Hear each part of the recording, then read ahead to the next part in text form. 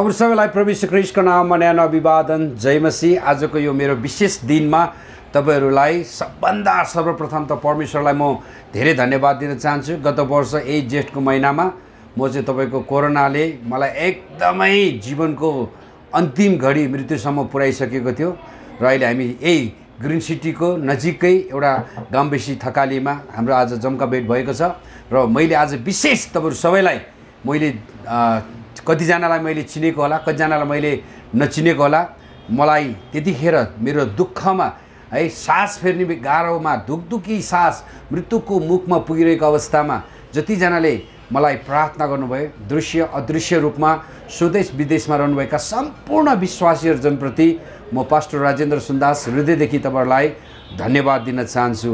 मलाई तपाईँहरूको प्रेम र प्रार्थनाको कारण परमेश्वरले फेरि गत वर्ष चाहिँ मेरो जीवनमा यति धेरै ठुलो एउटा मृत्युको मुखमा पुग्ने अवस्था आयो भने अहिले चाहिँ म केही साथीभाइ अनि दिदीहरूसँग म एउटा सेलिब्रेसन गर्दैछु मेरो जन्मदिनको यो विशेष दिनमा र म तपाईँहरू सबैलाई एकदमै हृदयदेखि मेरो श्रीमती राधिका सुन्दास र म तपाईँहरूलाई धन्यवाद दिन चाहन्छु। त्यतिखेर मेरो श्रीमतीसँग मेरो बिछोड भइदिएको भए सायद मेरो श्रीमती एक्लै हुन्थ्यो होला। है ऊ परमेश्वर त उसँग हुन्थ्यो नै होला। तर पनि आज फेरि खुसीको दिन ल्याएको छ। अनि मेरो श्रीमती पनि राम्री बनेर आएको छ। धेरै धन्यवाद। है यो विशेष त्यो दिनलाई सम्झिँदा अझै पनि काहीँ कतै विश्वास लाग्दैन। तर परमेश्वर भलो हुनुहुन्छ। म भजन सङ्ग्रह एक सौ अठार चाहिँ यो महिनाभरि मैले घोषणा गरेको छु परमेश्वर भलो हुनुहुन्छ। प्रियहरू परमेश्वर चाहिँ भलो हुनुहुन्छ। कतिचोटि हामी मान्छे हौ मान्छेको कुबलो गर्छौँ। मान्छेलाई हामी नराम्रो सोध्छौँ। मान्छेको कुरा काट्छौँ। तर यी दिनहरूमा हामीलाई त्यस्तो फुर्सद नहोस् भन्ने म चाहन्छु कि हामी बोल्छौँ मान्छेको भलाइको लागि बोलौँ काम गर्छौँ मान्छेको भलाइको लागि गरौँ। किनकि यो दुई दिनको छोटो जिन्दगीमा आज मऱ्यो भोलि दुई दिन हामीले लानु केही पनि छैन। त्यस कारणले गर्दा सर्वप्रथम म एकदमै धन्यवाद भन्न चाहन्छु सत्यबाट अनलाइन। हाम्रो श्याम राई भाइलाई पनि हृदयदेखि धन्यवाद दिन चाहन्छु। हामी सँगै मिलेर धेरै ठाउँमा है तपाईँको भवन बनाउने काम हामी गर्दैछौँ। श्याम राई भाइलाई पनि धन्यवाद र हाम्रो चर्च टिभी हाम्रो थोमस बोगटी भाइलाई पनि धेरै धेरै धन्यवाद दिन चाहन्छु। यो अवसर यो मौका दिनुभएको लागि र म तपाईँलाई भजन सङ्ग्रह एक सौ अठार चाहिँ मेरो एकदमै जीवनको विशेष त्यो पद चाहिँ म तपाईँहरूको बिचमा राख्न चाहन्छु। परमेश्वर चाहिँ भलो हुनुहुन्छ। यो भन्दै गर्दा चाहिँ कतिचोटि हामीले परमेश्वरको काम देख्छौँ अनि कतिचोटि हामीले परमेश्वरको बारेमा हामीलाई ज्ञान पनि छौँ हामीले बुझेका पनि छौँ। तर पछिल्लो समयमा मान्छेहरू यति धेरै अ, परमेश्वरको कुराभन्दा पनि आफ्नै कुराहरूतिर मान्छेहरू बढी व्यस्त भइरहेको कुरा हामी देख्दछौँ। यो छोटो जीवनमा हामीले चाहेको चाहिँ एउटै कुरो हो। मेरो जीवन प्रभुले जसरी मलाई फर्काएर पृथ्वीमा राख्नुभएको छ मैले दुईवटा कुरा प्रतिज्ञा गरेको छु। मेरो जीवनलाई म सही सदुपयोग गर्नेछु। परमेश्वरले दिनुभएको समयलाई सही सदुपयोग गर्नेछु र परमेश्वरले दिनुभएको रिसोर्सलाई पनि म सही सदुपयोग गरेर चाहिँ म एकदमै परमेश्वरको लागि इमान्दारी विश्वासयोग्य भरोसायोग्य र अन्तिमसम्म प्रभुको महिमा हुने काम गर्छु भन्ने मैले एकदमै निर्णय गरेको छु र आज दिउँसो म एकदमै खुसी छु। तपाईँहरूले मेरो दुःखमा जतिजनाले प्रार्थना गरेर मलाई सहायता अनि मलाई उत्साह दिनुभयो। आज तपाईँहरूकै प्रेमको कारणले गर्दा यो खुसी दिन पनि प्रभुले ल्याउनु भएको छ। बाइबलले भन्छ उपदेशक तिनको एक हरेक सबै कुराको समय छ। हिजो मेरो श्रीमती र मेरो रुडी समय थियो भने आज फेरि हाँस्ने समय आएको छ। त्यस कारणले गर्दाखेरि समयअनुसार हामी अगाडि बढ्न सक्यौँ भने एकदमै परमेश्वरको महिमा हाम्रो जीवनमा परमेश्वरको योजना अनुसार हामी अगाडि बढ्न सक्छौँ। र विशेष गरी म धेरै धेरै धन्यवाद दिन चाहन्छु मेरो परिवार आफन्तहरूलाई मैले यहाँ बोलाएको छैन। तैपनि यही भिडियो मार्फत च्यानल मार्फत तपाईँहरूको प्रार्थना सहयोगको लागि धेरै धेरै धन्यवाद। मेरो बुवा आमा दाई भाउजू मेरो बहिनी ज्वाइँहरूले गर्नुभएका र मण्डलीले गर्नुभएका ठुलो योगदानको लागि म धन्यवाद दिन चाहन्छु।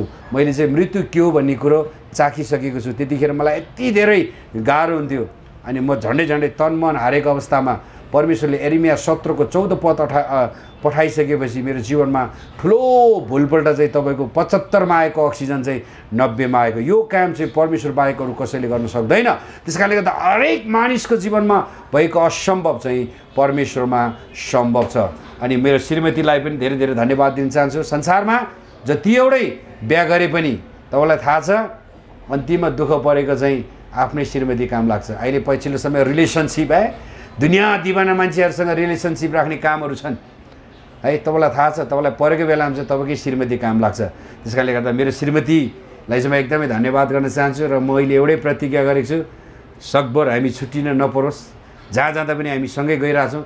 यसको मतलब मैले त्यो अनुभव गरेँ जब मेरो दुःखमा मेरो श्रीमतीले मलाई साँच्चीकै प्रेम गरेको कुराहरू मैले देखेँ। त्यस जीवन के नै छ र तपाईँको छोटो जीवन आज मऱ्यो भोलि दुई दिन।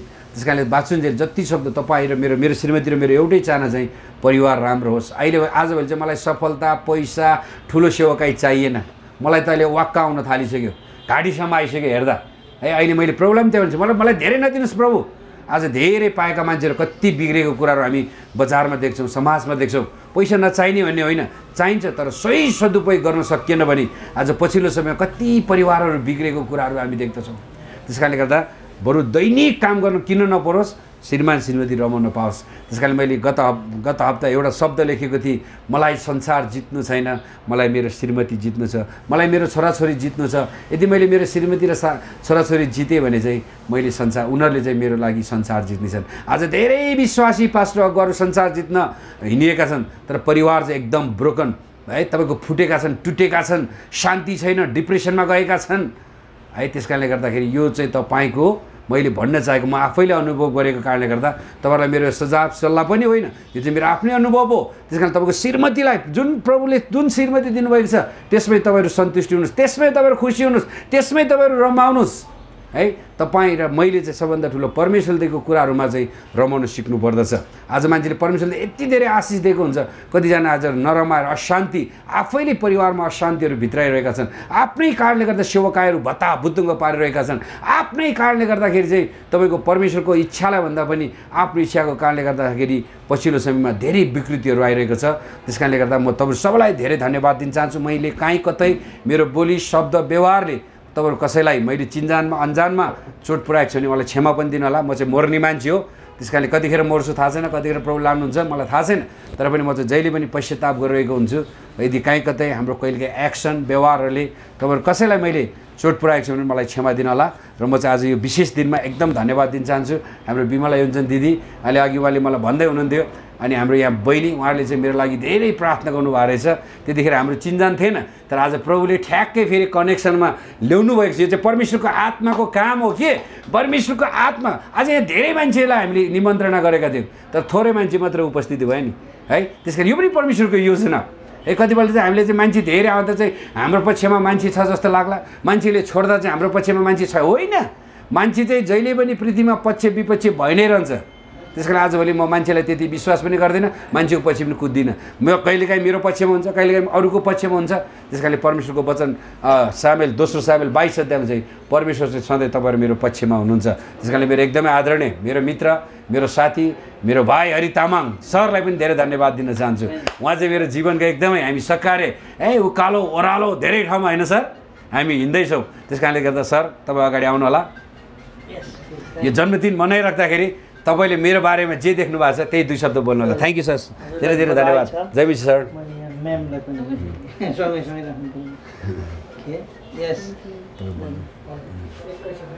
विशेष गरी हाम्रो आदरणीय पास्टर राजेन्द्र सुन्दासलाई बधाई छ। जन्मदिनको शुभकामना भन्न चाहन्छु। धरतीमा परमेश्वरले एउटा उद्देश्य र लक्ष्य लिएर नै पठाउनुहुन्छ भन्ने कुरा म विश्वास गर्दछु। उहाँले अघि घटना जोड्दै हुनुहुन्थ्यो। गएको वर्ष यही समयमा कोरोनाको पेन्डेमिक मात्रै होइन उहाँ त लगभग लगभग दुई हप्ता प्लस बेडमा रहनुभएको। तन मन हारेको अवस्थामा उहाँले धेरै कुराहरूको कल्पना परिकल्पना गरेको कुराहरू पछि आएर भन्नुभयो। हामी अघिल्लो दिनसम्म दाजुभाइ सँगसँगै बसेर यसै गरी चिया कफी पिउँदै उहाँलाई अलिकति गाह्रो हुँदै थियो तर पनि उहाँ जित्छु। यो कोरोना होइन यो त साधारण रुगाखोकीहरू मात्रै हो भन्दै हुन्थ्यो तर पछिल्लो समयमा त्यसले असर पुर्याइसकेको छ। मैले बुझेको चाहिँ उहाँ त्यस्तो समयमा पनि सँगै रहेर मतलब अरूलाई सेवा गरिरहेको व्यक्ति। मलाई त्यहाँ बोलाएको पनि अरूलाई यो यो ठाउँमा सहायता पुर्याउनलाई कसैलाई खाममा भेटिदिँदै हुनुहुन्थ्यो कसैलाई चामल पठाउँदै हुनुहुन्थ्यो हामी दाजुभाइ यसरी सेवा गर्दैथ्यौँ। मैले यहाँ जोड्न खोजेको चाहिँ आफू शिथिल हुँदै गर्दा पनि अरूको सेवा गर्नुपर्छ भन्ने कुरामा चाहिँ रात दिन खट्नुहुने व्यक्तित्व। हामी लगभग दशक अगाडिदेखि नै चिनेको व्यक्ति हो। बाह्र पन्ध्र वर्ष अगाडिदेखि नै। तर पछिल्लो समय भूकम्प पछाडि अझ झन् नजिक हुँदै कतिवटा सेवा गऱ्यौँ। कोरोनाको समयमा यो किन यो यो यो खालको इन्टिमेट रिलेसनसिप भयो भन्ने कुरा चाहिँ परमेश्वरले मलाई पछिल्लो समय दिनु होइन। एकले अर्कालाई बुझेर एकले अर्काको सपोर्टिभ हामीले सेवा गर्नुपर्छ। एउटै एउटै दर्शन र भिजन भएको व्यक्तिहरू संसारको जुनै कुरामा भए पनि परमेश्वरको समयमा एकत्रित गर्नुहुन्छ भन्ने कुरा मैले अनुभूति गरेँ। अनि उपदेशकको पुस्तकको खण्ड अघिले अघि नै उहाँले उद्धृत गरिसक्नुभयो। उपदेशक तिनको एघारले भने चाहिँ परम प्रभु परमेश्वरले आफ्नो समयमा हरेक कुरा सुन्दर बनाउनुहुन्छ। अनि उहाँको जीवनको यो घटना पनि संसारलाई एउटा मान्छे चाहिँ मर्नुपर्छ है एक दिन। सधैँ अमर हुनको लागि शरीरमा बोलाएको होइन है भन्ने कुराको गवाई बुझेर पनि धेरै मान्छेले प्रभुमा विश्वास गर्नुपर्छ। प्रभुमा हुनेहरूले अझ प्रगाढतामा जीवन जिउनुपर्छ। उहाँले अघि प्रस्तावको कुरा जोड्नुभयो सही हो नि हामी। हरेक पल प्रस्ताव गर्दै जीवन जिउनु जरुरी छ। कोही बेला जानेर नजानेर एकअर्कामा हामीले पनि मन दुखाएको हुनसक्छौँ चित्त दुखाएको हुनसक्छौँ क्षमा दिनु र लिनु चाहिँ द बेस्ट पोलिसी हो भने बाइबलले भन्छ यसले क्रुसबाट सातवटा शब्दमध्ये एउटा शब्द भन्नुभयो। "हे पिता यिनीहरूलाई क्षमा दिनुहोस् किनभने यिनीहरू के गर्दैछन् सोच जान्दैन यसो प्रभुको विशेष म्यान्डेट नै संसारका मानिसहरूलाई क्षमा दिन आउनुभयो। अनि उहाँले त्यो जोड्दै गर्दा मलाई पनि त्यो शब्द एकदम मनपर्छ। हामी पनि एक्लै अर्कालाई क्षमा दिउँ। र उहाँहरूको यो जोडी एकदमै युगल जोडी के भन्ने परमेश्वरले संसारलाई एउटा आशिषित जोडीको रूपमा उदाहरण स्वरूप प्रस्तुत गर्दै हुनुहुन्छ। तपाईँ र म हामीले पनि सिक्नु जरुरी छ र एप्लाई पनि गर्नु जरुरी छ। अनि मेरो आदरणीय पास्टरज्यूलाई धेरै धन्यवाद। मैले लामो बोल्न चाहिनँ उहाँको यो जन्मदिन। कति जन्मदिन छ सडचालिस। सडचालिसौँ जन्मदिन। हेर्नु नम्बर पनि बडो राम्रो छ। Four forty seven number seven is very perfect number God's number. होइन फोर्टी प्लस सेभेनको कुरा गरेँ। सेभेन मात्रै होइन फोर्टी सेभेन। परमेश्वरले चालिस चार चालिस चार सय चार हजार चाहिँ बाइबलमा जहिले पनि प्रिपेरेसनको नम्बर छ प्लस सेभेन पनि आयो। यो समय चाहिँ एउटा पर्फेक्ट समय रहेछ हाम्रो आदरणीय पास्टरज्यूको र गुरुआमाको फेरि पनि एकचोटि वान सेकेन्ड धेरै धेरै बधाई छ। शुभकामना अझै पवित्र कामनाको पनि. कामना गर्दै धन्यवाद भन्न चाहन्छु र उहाँहरूको हरि सर जीवनमा एउटै प्रतीक गर्न चाहन्छौँ एकमुठी सास रहेसम्म हामी केही गर्नको लागि सँगै दाजुभाइ अगाडि बढिरहेका छौँ। Amen amen amen. Amen amen. Thank you sir धन्यवाद। धन्यवाद। हजुरले बोल्नुपर्छ उहाँलाई दिनु तपाईँ उहाँलाई लिएर।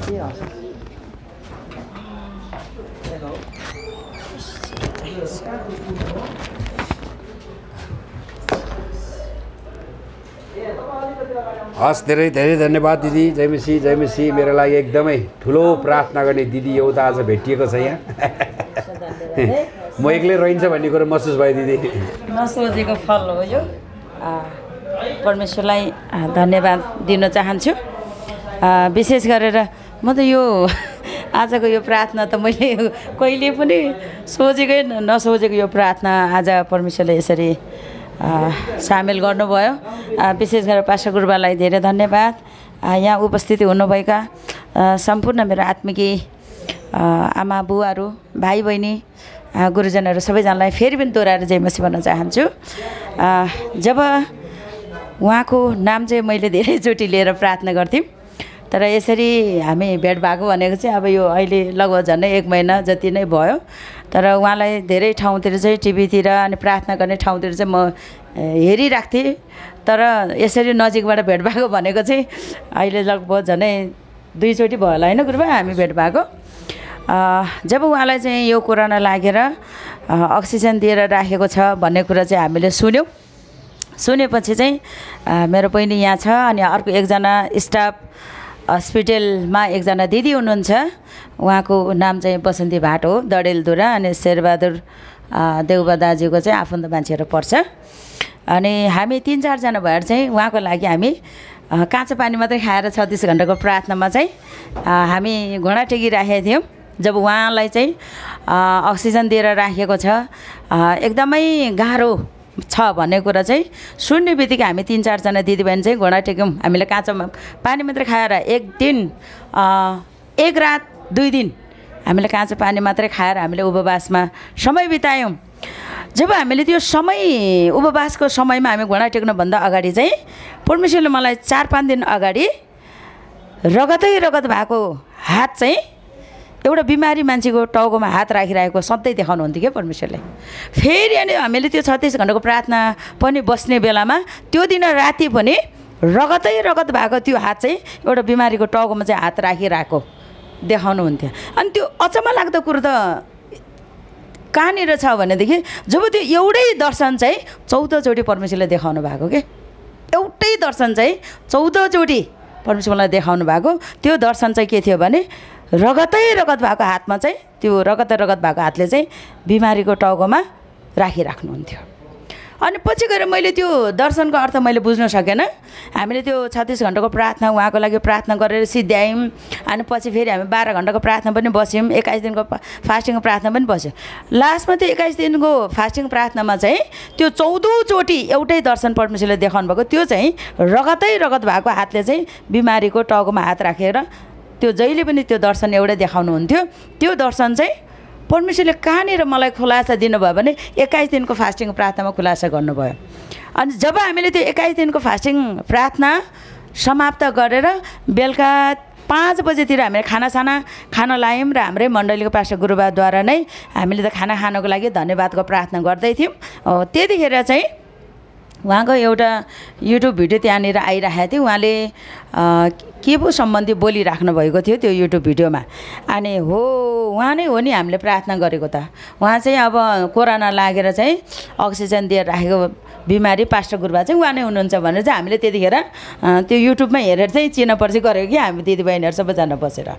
अनि मैले त्यतिखेर चाहिँ परमेश्वरसँग भने प्रभु साँच्चै नै तपाईँले यो रगतै रगत भएको हातले चाहिँ सधैँभरि टाउकोमा हात हालेर प्रार्थना गर्ने चाहिँ उहाँ नै हुनुहुँदो रहेछ।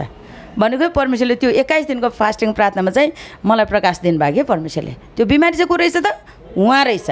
पछि गएर मैले त्यो जबसम्म उहाँलाई भेट गर्न सकेन तबसम्म त्यो अनुहार मैले चिन्नै सकेन कि। जब अस्ति उहाँको कार्यक्रममा उहाँले मलाई बोलाउनु भयो पास्टर गुरुबाले त्यहाँ जाने बेलामा मैले ट्याक्कै स्वरूप देखेँ कि। अनि मैले त्यतिखेर विचार गरेर ओहो यो गवाई त भन्नुपर्ने। अनि यसो विचार मैले मामासँग झन्डै मैले फुत्काउनु लागेको थिएँ त्यतिखेर। अब यसो मल हेरौँ। प्रभु धन्यवाद छ मल हेरौँ। अब यस्तै गवाई बाँड्ने खालको मल भयो भने आजै यो गवाई चाहिँ म छोड्दिनँ बाँड्छु। भन्ने विचार गरिरहेको थिएँ। तर पछि मल त्यो ठाउँमा अस्तिको कार्यक्रममा त्यो मल हुनै सकेन। प्रभुलाई धन्यवाद हो। साँच्चै नै उहाँको यो जीवन गवाई त्यो ठाउँमा परमेश्वरले त्यतिखेर चौधौँचोटि एउटै दर्शन चौधौँचोटि रगतमा हात एकदमै त्यो रगतले भिजिरहेको हात चाहिँ उहाँको टाउकोमा थियो। अनि परमेश्वरलाई धन्यवाद छ। यहाँहरूले मनन गर्न सक्नुहुन्छ। त्यो रगतै रगत भएको हातले जब उहाँको टाउकोमा राख्नुहुन्थ्यो अनि त्यो रगत चाहिँ उहाँको शिरदेखि पैतालोसम्म बगेर गएको। एकदमै परमेश्वरले त्यो त्यतिखेर दर्शन दिनुभएको थियो। अनि मैले प्रभुलाई भन्थेँ प्रभु तपाईँको हातबाट बगेको रगत त टाउकोदेखि भिजेर खुट्टाको पैतालोसम्म पुगेँ। अनि जब मैले त्यो दर्शनको कुरा परमेश्वरले मलाई खुलासा गर्नुभयो अनि मैले प्रस्थान बाह्रको तेह्रको वचन मैले त्यहाँ प्रभुले मलाई प्रकाश गर्नुभयो। किनभने प्रस्थान बाह्रको तेह्रको वचनमा के छ भने जुन घरमा थुमको रगतको छाप देख्छु त्यो घरमा चाहिँ मिश्रमाथि आउने खतरादेखि म जोगाउँछु। उहाँलाई खतराबाट जोगाउनु भयो नि। हाले लुया। प्रभुलाई ताली बजाएर धन्यवाद दिनुहोस्। कति खुसीको कुरा के? हेर्नु त। जुन घरमा थुमको रगतको छाप म देख्छु त्यो घरमा चाहिँ विपत्ति आउनुबाट म जोगाउँछु है? उहाँलाई चाहिँ ठुलो विपत्तिबाट जोगाउनु भयो नि। कतिको खुसी हुनुहुन्छ पासो गुरुबा? अनि हजुरको लागि हस्पिटलको औषधिले होइन डक्टरले होइन त्यहाँनिर जब तपाईँ छटपट्टि राख्नु भएको थियो यसु क्रिस्टको रगत चाहिँ यसु क्रिस्ट चाहिँ डक्टर भएर आउनुभयो। यसु क्रिस्टको रगत चाहिँ तपाईँको लागि अभिषेकको त्यो महान औषधि बनेर यसु क्रिस्टको रगत चाहिँ तपाईँको निमित्त महान औषधि बन्यो। हालेलुया! आमेन अनि व्यवस्था सातको पन्ध्रमा पनि त्यहाँ के भनेको छ? मिश्रमाथि आउने भयङ्कर रोगबाट म तिमीहरूलाई जोगाउँछु। हाललुया! अनि तपाईँको जीवनमा हाम्रो पास्टर गुरुबा र गुरुआमाको जीवनमा क्रिसको रगतको छाप भएकै कारणले क्रिसको रगतको नदीभित्र उहाँहरू भएकै कारणले गर्दाखेरि उहाँहरू चाहिँ मिश्रमाथि आउने भयङ्कर रोगबाट परमेश्वर उहाँहरूलाई जोगाउनु भयो। हालेलुया आमेन परमेश्वरलाई धन्यवाद। हो जब त्यो एक्काइस दिनको फास्टिङ प्रार्थनामा यो व्यवस्था सातको पन्ध्र र प्रस्थान बाह्रको तेह्रको वचन हामीले दाबी गरेर प्रार्थना गर्थ्यौँ त्यतिखेर यो दर्शनको खुलासा परमेश्वर मलाई त्यतिखेर गरिदिनु भयो अनि मैले अस्तिको कार्यक्रममा भन्छु भने मैले एकदमै चाहना थियो तर परिस्थिति त्यस्तै भयो मैले भन्न पाएन। त्यो समयको गवाई बाँड्न खोज्दाखेरि आज परमेश्वरले साँच्चै नै कसरी त्यो जुटाइदिनु भयो कि म अचम्म लाग्छ। अहिले उहाँलाई सम्झ मैले बिहान भने पासा गुरुबा अब आज तपाईँको जन्मदिन पनि रहेछ। तपाईँ बिमारी हुने बेलामा हामीले यसरी उपवास फास्टिङ प्रार्थना बसेको थियो। अस्तिको कार्यक्रममा बाँड्छु भनेको तर परिस्थिति त्यो ठाउँमा बाँड्ने भएन। आज चाहिँ यो आशिष बाँड्नै पर्छ। अनि मैले बिहानै गुरुबासँग अनुमति मागेको थिएँ। परमेश्वरलाई धन्यवाद। हुन्छ हामीले धेरै प्रार्थना गऱ्यौँ। आज हामीले प्रार्थना गरेको इनाम प्रतिफल परमेश्वरले हाम्रो अगाडि दिनुभएको छ। हामी खुसी छैनौँ त? धेरै खुसी छ नि। हालेलुया। हुन्छ परमेश्वर धन्यवाद। मेरो दुई शब्द यहीँ टुङ्ग्याउन चाहन्छु। धन्यवाद। जय मसी जहाँबाट तपाईँले हामीलाई यतिखेर हेरिराख्नु भएको छ त्यो दिनलाई सम्झिँदाखेरि अझै पनि काहीँ कतै मेरो भक्कानो फुट्न छोड्दैन। म साँच्ची नै मरेको मान्छे हो। तन मन हारेर अब सिद्ध भनेको अवस्थामा परमेश्वरले मेरो जीवनमा उहाँको अनुग्रह मलाई यसलाई मैले सेकेन्ड चान्सको रूपमा बुझेको छु। उहाँले मलाई फेरि एकचोटि मौका दिएर पृथ्वीमा राख्नुभएको छ र यो मौका यो जीवन यो समय यो स्रोत सबै कुरो म परमेश्वरलाई महिमाको लागि प्रयोग गर्छु भनेको छु। र यतिखेर म तपाईँलाई एउटै अनुरोध गर्न चाहन्छु मेरो धेरै इच्छा छैन। म जतिन्जेल बाँच्ने छु मैले तिनवटा काम गर्छु भनेर प्रभुसँग प्रतिज्ञा गरेको छु। एउटा मण्डली भवन।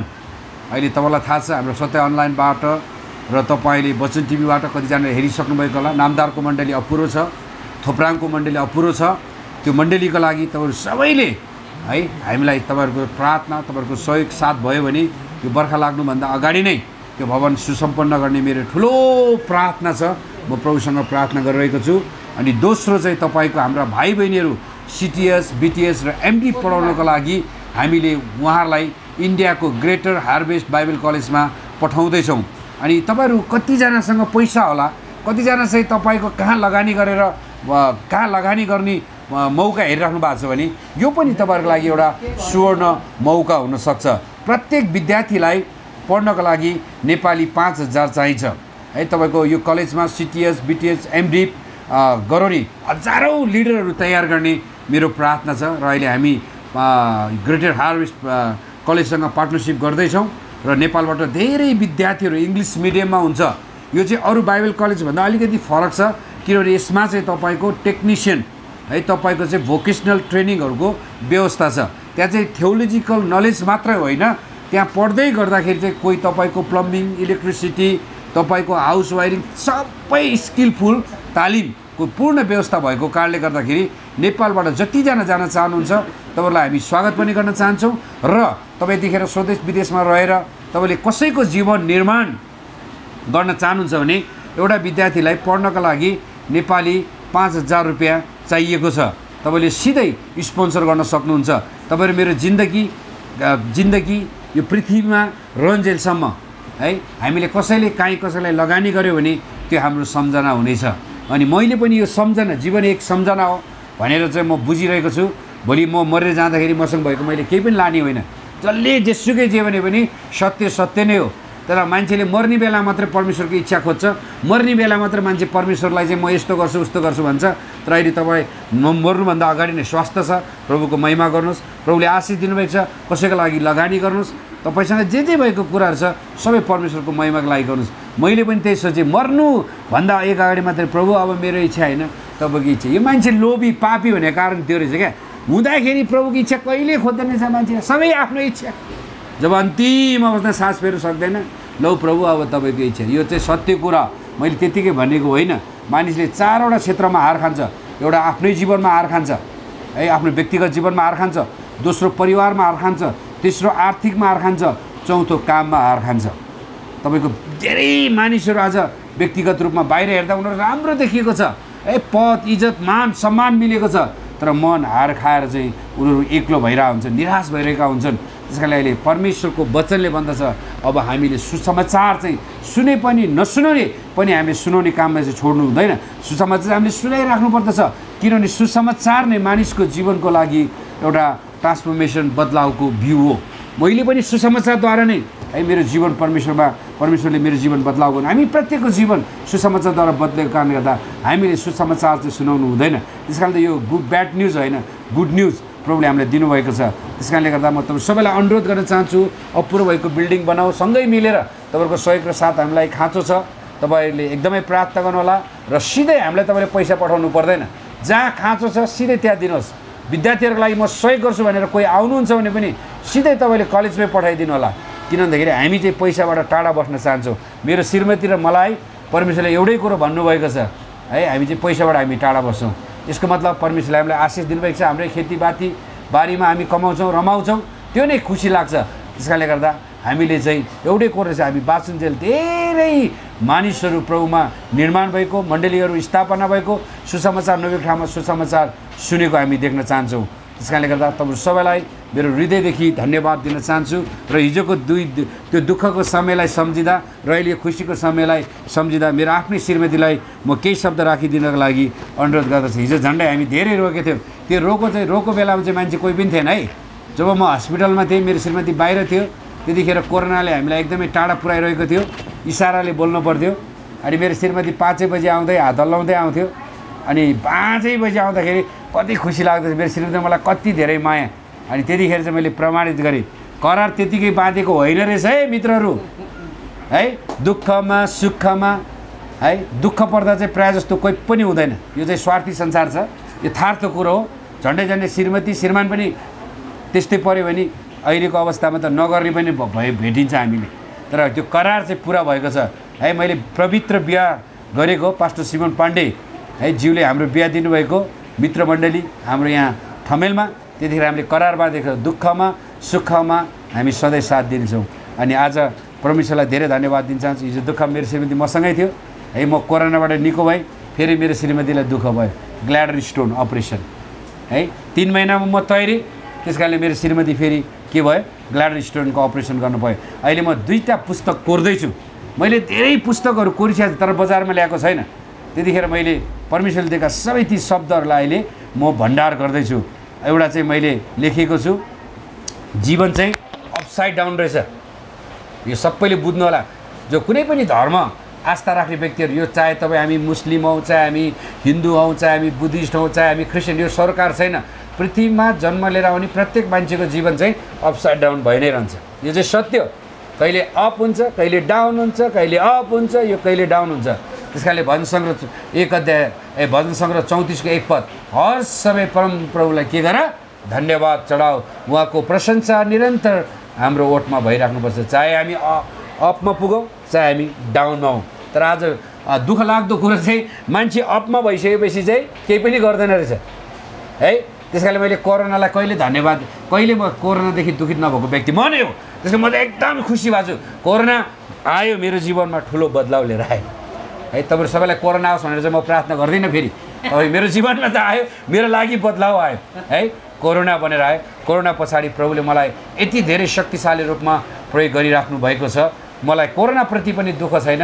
कोरोनाले मलाई केही समय कष्टमा त राख्यो तर मेरो जीवनमा धेरै कुरा उसले सिकाएर गएको छ। त्यस कारणले कोरोना तिम्रो लागि पनि मैले धन्यवाद लेख्छु। तिम्रै कारणले मैले जीवन बुझेँ। तिम्रै कारणले गर्दा मैले जीवनको महत्त्व बुझेँ भनेर चाहिँ मैले लेखिरहेको छु। मैले दुईवटा कुरा चाहिँ एकदमै छिटै ल्याउनलाई कोसिस गरिरहेको छु। एउटा चाहिँ जीवन चाहिँ अपसाइड डाउन रहेछ। यो तपाईँले हामीले चाहिँ बाइबलले हेऱ्यो भने बाइबलमा पनि धेरै अपसाइड डाउनहरू छ तर मान्छेले यो कुरो चाहिँ हेर्दैन क्या। अहिले चाहिँ मान्छेले चाहिँ चाहिने कुराभन्दा नचाहिने कुरामा बढी ध्यान दिन्छ। यो चाहिँ सत्य तिथो यथार्थ हो। जो कोहीको जीवन पनि अपसाइड डाउन हुन्छ। मेरो शीर्षक नै लाइफ इज अपसाइड डाउन है? जस्तो सुकै अपसाइड डाउन भए पनि हामीले चाहिँ परमेश्वरको भय मान्नु छोड्नु हुँदैन। त्यसै गरी अर्को चाहिँ बिल्डअप एन्ड लिफ्टअप दुइटै छ है किताबहरू सम्प्रेषण गर्दैछु र मैले मेरो प्रत्येक डिभोसनमा परमेश्वरबाट पाएको कुराहरू मैले सबलाई सेयर पनि गर्दैछु। छ कि छैन तपाईँहरूलाई? सेयर पनि गर्दैछु। अहिले चाहिँ अर्को चाहिँ मैले बिल्डअप एन्ड लिफ्टअप हामी मान्छे हौँ कहिलेकाहीँ परिवारमा भत्किरहेको हुन्छौँ तर पनि हामी जयमसी गरेर आउँछौँ। परिवार चाहिँ हाम्रो मतलब छैन। बाहिर चाहिँ विश्वासीलाई हामी खुसी पार्नलाई धेरै सान्त्वना दिइरहेको हुन्छ है हामीलाई परमेश्वरले त्यस्तो चाहनु भएन पहिला चाहिँ म आफै खुसी हुनु पऱ्यो मेरो परिवार खुसी छ भने पो म तपाईँको परिवारलाई खुसी बनाउन सक्छु त। तर अहिले नौटङ्गी नाटक आफ्नो परिवार चाहिँ भत्किरहेछ आफ्नो श्रीमती चाहिँ डिप्रेसनको औषधि खाइरहेछ मैले हजारौँ मान्छेलाई खुसी दिएर के फाइदा? केही पनि छैन। त्यस कारण त रामकृष्ण ढकालको गीत साह्रै मनपर्छ नि त। जित्न सबैलाई जिते पनि मन आफैसँग हार्दो रहेछ। है तपाईँले संसार जित्न कोसिस नगर्नुहोस्। तपाईँले आफ्नो मनलाई आफूलाई जित्नुहोस्। परिवारलाई जित्नुहोस् परिवारलाई जित्नुहोस् छोरछोरीलाई जित्नुहोस् श्रीमतीलाई जित्नुहोस् यो नै संसारको लागि सबैभन्दा ठुलो शक्तिशाली गवाई हो। गवाई भनेको त्यत्तिकै बन्दैन रहेछ क्या। आज परमेश्वरले चाहिँ हामीलाई गवाई बन्छु भनेर चाहिँ र पेरितेको आठ म तिमीलाई गवाई। है गवाई चाहिँ तपाईँको बन्नको लागि चाहिँ हाम्रो जीवनमा साँच्ची नै रूपान्तर हुन आवश्यक रहेछ। है रूपान्तर। आज मान्छेले चाहेको चाहिँ रूपान्तर हो धर्म होइन। तपाईँ कुनै पनि धर्म मान्दै हुनुहुन्छ भने धर्मले हामीलाई रूपान्तर गर्न सक्दैन। रूपान्तर चाहिँ जीवित परमेश्वरको वचनमा मात्रै छ। जुन वचनले मात्र तपाईँहरू मलाई रूपान्तर दिन्छ। आज मैले अस्ति एउटा पोस्ट गरेको थिएँ। धर्म कर्म मान्ने मान्छेको यहाँ कमी छैन। तर रूपान्तर व्यक्तिको कमी छ यहाँ। ए मान्छेहरू त बिहान उठेदेखि बेलुकासम्म धर्म कर्म कति गरेछन् कि उसको जीवन रूपान्तर भएको छ? परिवार रूपान्तर भएको छ? भोलि रूपान्तर भएको छ? व्यवहार रूपान्तर भएको छ? यो चाहिँ सबैभन्दा ठुलो कुरो त्यस कारण ईश्वर ख्रिस्टले चाहिँ धर्म परिवर्तन गर्न आउनु भएन उहाँले रूपान्तर परिवर्तन जीवन जिउनलाई उत्साह प्रेरणा दिएर आउनुभयो। त्यस कारणले गर्दा म तपाईँ सबैलाई धेरै धेरै धन्यवाद दिन चाहन्छु। चर्च टिभी सत्य अनलाइन बाटो तपाईँहरू सबैलाई धेरै धन्यवाद। जहाँबाट हेर्दै हुनुहुन्छ लाइक र सब्सक्राइब गर्न नछोड्नु होला तपाईँको मनमा लागेको जिज्ञासा र कमेन्ट जे छ त्यो पनि हामीलाई भन्न र लेख्न नबिर्सिदिनु होला भन्दै मेरो श्रीमतीलाई त्यो दिनको सम्झना स्वरूप फेरि एकचोटि त्यो दिनलाई किन फर्केर हेर्न चाहेको? यो नफर्किँदा पनि हुन्छ। आज म निको भइसकेँ। अब सिद्धियो होइन। तपाईँलाई थाहा छ हिजोको त्यो दुःखको दिनले नै आज मलाई खुसी बनाइरहेको छ।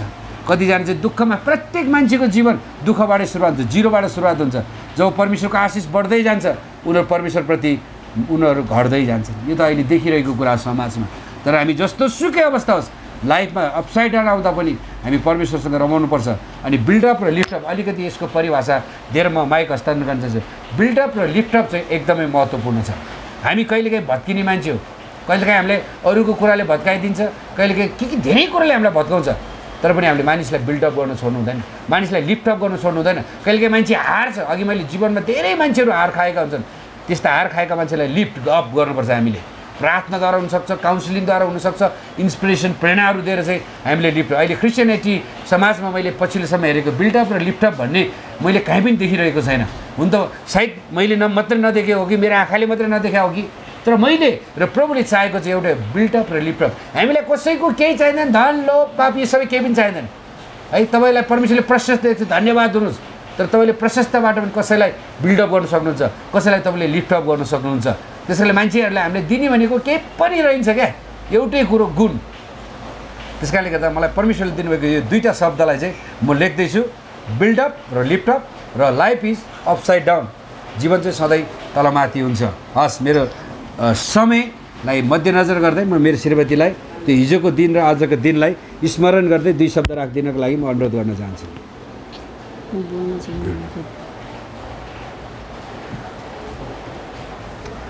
कति मिनट भयो? धेरै लामो नगरौँ ठिक्क गरौँ। के घाँटी नभएको टाउको लिएर हो? अड्किनु पऱ्यो नि होइन। छोटो मिठो। सर हाम्रो त्यो सर कहाँ आइपुग्नु भएछ?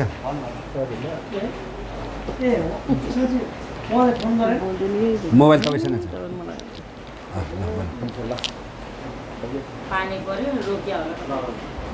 धन्यवाद सर्वप्रथम परमेश्वरलाई। फेरि यस समय दिने मेरो श्रीमानज्यूलाई पनि म हृदयदेखि धन्यवाद दिन चाहन्छु। साथै जतिजना उपस्थित हुनुहुन्छ उहाँहरूलाई पनि म धेरै धन्यवाद दिन चाहन्छु। ज जसले हाम्रो लागि प्रार्थना गरिदिनु भयो दृश्य अदृश्य जति पनि हाम्रो विश्वासीजन अनि सबैजनाले हाम्रो परिवारको लागि विशेष त म र मेरो श्रीमानको लागि धेरै प्रार्थना गरिदिनु भयो। त्यसको लागि म धेरै धन्यवाद दिन चाहन्छु। सम्झिँदाखेरि धेरै गाह्रो हुन्छ। तर पनि चाहेर पनि नचाहेर पनि मान्छेको एक दिन बिछोड हुन्छ। यो सत्य है है। एक दिन चाहिँ मान्छेको ह्युमेन बिङ्सको ट्रेजेडी भनेको नै मृत्यु हो। है हाम्रो बिछोड चाहिँ कतिखेर हुन्छ? मृत्युबाट हुन्छ। तर हामी विश्वास गर्ने मान्छेको लागि चाहिँ यो चाहिँ फेरि खुसीको कुरा। मलाई चाहिँ मर्नदेखि डर छैन। मैले त्यतिखेर मेरो श्रीमतीलाई भनेको छु मर्नदेखि मलाई डर छैन। किन हामीसँग चाहिँ आशा छ? हाले लो हामीहरू फेरि भेट हुन्छ। फेरि हामीले त्यो उत्सव त्यो स्वर्गमा त्यो खुसी हामी फेरि मनाउन सक्छौँ। त्यस कारण त विश्वासी हुनुको फाइदा एउटै छ। मृत्युले हामीलाई छुट्याए पनि हामी चाहिँ फेरि सँगै एक दिन भेट्छौँ। त्यस कारण यो नै हाम्रो खुसी हो। है मेरो श्रीमतीलाई गाह्रो हुन्छ त्यो दिन सम्झिँदाखेरि। त्यस कारणले उसले व्याख्या गर्न सक्दैन र तपाईँहरू सबैलाई म उत्साह दिँदै एउटै कुरो भन्न चाहन्छु। विद्यार्थीको लागि तपाईँहरूले पाँच हजार महिनाको लाग्छ सिटिएस बिटिएच एमडी गर्ने विद्यार्थीहरूलाई तपाईँले सक्नुहुन्छ मण्डलीबाट व्यक्तिगत तर्फबाट तपाईँले सहयोग गर्न सक्नुहुन्छ। तपाईँले सक्नुहुन्न भने प्रार्थना गर्नुहोला र अपुरो भएको मण्डली पुरा गर्नुपर्ने जिम्मेवारी हाम्रो श्याम राई चर्च टिभी वचन टिभीमा आएको कारणले गर्दा तपाईँहरू जहाँबाट हेर्दै हुनुहुन्छ तपाईँले कृपया उहाँ उहाँहरू मार्फत पनि सम्पर्क गरेर त्यो ठाउँमा तपाईँले सहयोग भेटीहरू पठाइदिन सक्नुहुन्छ भन्दै हामी बिदा हुन चाहन्छौँ। धन्यवाद। जय मसी आज यो जन्मदिन मनाइराख्दाखेरि हामी दाजुभाइ कति वर्ष पछाडि भेट्दैछौँ? हामी लगभग भयो होला पच्चिस तिस वर्ष जति भयो होला। तिस वर्ष पछाडि हेर्नु त पुरानो त्यो अवस्थाबाट अहिले हामी यो नयाँ अवस्थामा आएका छौँ। अनि उहाँ चाहिँ तपाईँको उहाँहरूको परिवार चाहिँ सुन्दरजल नैपाटीको सुसमाचारको बिउ हुनुहुन्छ। मैले एउटा किताब लेख्दैछु सुसमाचारको झिल्को। प्रियहरू आज धेरै मानिसहरूले सुसमाचार सुनाउँदैनन्। है उनीहरू आफै सुन्छन् आफै बुझ्छन् आफै मात्र बस्छन्। तर उहाँहरूले चाहिँ त्यो गाउँमा सुसमाचारको बिउ रोपेको कारणले गर्दाखेरि आज हजारौँजना मान्छे प्रभुमा आएको छ। अनि उहाँहरूले नै हाम्रो उहाँकै आमाले मेरो आमालाई सुसमाचार सुनाएको कारणले गर्दा आज प्रभुले हामीलाई यो मौका दिनुभएको छ। अनि उहाँसँग मेरो अकस्मात भेट हुँदा मलाई चाहिँ एकदमै खुसी लाग्छ। है तिस वर्ष पछाडिको दाजुभाइको भेट छ अनि उहाँको पनि इच्छा त्यस्तै छ। तर उहाँले भर्खर अहिले आर्मीबाट रिटायर भएर सुकदारमा होइन? आर्मीमा सुकदार पद पाएर रिटायर भएर चाहिँ उहाँ पनि प्रभुको लागि केही गर्छु भनेर हिँड्नुभएको छ। अनि उहाँको आमालाई अस्ति हामी भेट्न गएका थियौँ र अब केही समय पछाडि हामी जानेछौँ उहाँको आमाको इन्टरभ्यू लिनेछौँ र त्यो इन्टरभ्यूद्वारा धेरै मानिसहरूको सामु एउटा आशिषको म महसुस होस् भन्ने मेरो प्रार्थना छ र तपाईँलाई एकदमै स्वागत गर्न चाहन्छु र अब दाजुभाइ सँगै मिलेर फेरि पहिलाको जस्तै त्यो अभियान हामीलाई केही चाहिँदैन हाम्रो कुनै पनि अभियान होइन। हाम्रो एउटै अभियान हो मानिसहरूलाई यीशु चिनाउनु यीशु जसले चिनेको छ त्यसको जीवनमा शान्ति आएको छ मुक्ति आएको छ उद्धार आएको छ त्यही मात्र हामी लाग्छौँ। तपाईँको दुई शब्द? धन्यवाद पास्टर राजेन्द्र भाइलाई। यति धेरै समयपछि चाहिँ हाम्रो भेट भयो। मलाई एकदमै खुसी लागेको छ। भाइप्रति। र आज चाहिँ भाइको जन्मदिन परेको कारणले म भाइलाई चाहिँ जन्मदिनको धेरै धेरै शुभकामना व्यक्त गर्न नि चाहन्छु। धन्यवाद। हस् थ्याङ्क यू दाजुभाइ तिस वर्षपछि भेट्दा त कहाँ डाँडै नागिसकेछ नि त होइन? छोराछोरीदेखि लिएर सबै कुरामा आमूल परिवर्तन आइसकेको रहेछ है। त्यस कारणले गर्दाखेरि हामी तपाईँ सबैलाई धन्यवाद दिन चाहन्छु। यतिखेर सुन्दरजल नयाँपाटी एरिया चाबेलभन्दा माथि जति हामीलाई चिन्नुहुन्छ तपाईँहरू सबैलाई धन्यवाद। हिजो सँगै हामीलाई प्रार्थना गर्ने हामीलाई उत्साह दिने हामीलाई सहयोग गर्ने कतिजना प्रभुमा सुधिसक्नु भएको छ कतिजना अहिले जिउँदै हुनुहुन्छ भने एकचोटि हेर्न नबिर्सिदिनु होला। हामी सँगै मिलेर हाम्रो एउटै योजना छ अबको दिनमा प्रभुको राज्य विस्तार गर्ने कुरामा हामी अगाडि बढ्दैछौँ। हस् धन्यवाद। जय मसी